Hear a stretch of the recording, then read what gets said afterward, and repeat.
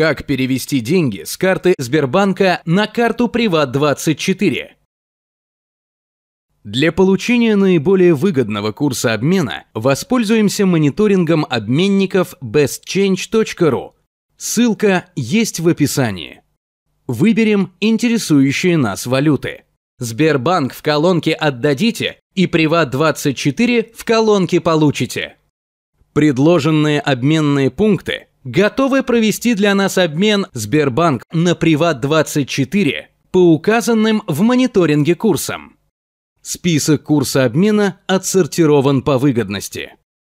Рассчитаем сумму, сколько мы получим гривен на Приват24 за 40 тысяч рублей со Сбербанка с учетом всех комиссий. Теперь мы видим конкретные предложения с учетом комиссий обменных пунктов и платежных систем. Резерв валюты показывает, что у обменника хватит свободных гривен на Приват24 для проведения нашего обмена. Проверим отзывы других пользователей этого обменного пункта.